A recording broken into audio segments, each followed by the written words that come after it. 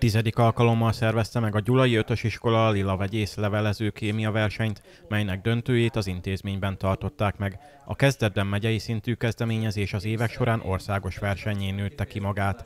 Célja a természettudományos tantárgy népszerűsítése és a tehetséges tanulók felfedezése, fejlesztése. A bátyám is kémiát tanul az egyetemen, és ő szerettette meg velem, és hát azóta én is indulok versenyeken. A verseny ötlet gazdája Molnár Sándorné, a Lila Iskola kémia tanára. A döntőben azok a hetedikes és nyolcadikos diákok mérhették össze tudásukat, akik az előző három levelezős fordulón a legjobb eredményeket érték el. Idén 42 eh, iskolából neveztek a versenyre több mint 200-an, és közülük a két forduló eredményei alapján 60-an kaptak meghívást az országos döntőre, és hát ők gyakorlatilag kelettől nyugatig, északtól délig Magyarország különböző településeiről vannak most jelen ezen az országos döntőn. A kezdeményezés azért is fontos, mivel ha már ilyen fiatalon megszeretik a diákok a természettudományokat, nagyobb eséllyel tudnak elhelyezkedni a későbbiekben is ezen a területen. Elismerésre méltó